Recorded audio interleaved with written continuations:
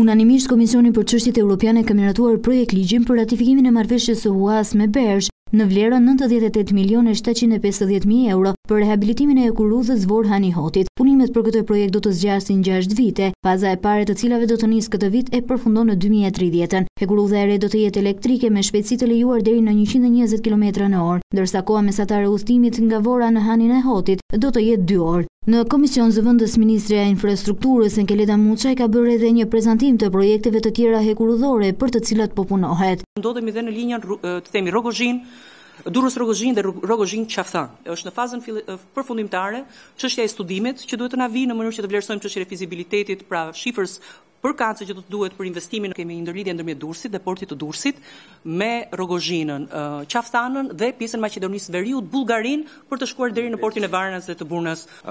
Projekti në zbatim është Tiranë-Durrës-Rinas. Sot që flasim jemi rreth shtatëdhjetë për qind realizim dhe përfundon në po, përfundon në mars dy mijë e njëzet e pesës.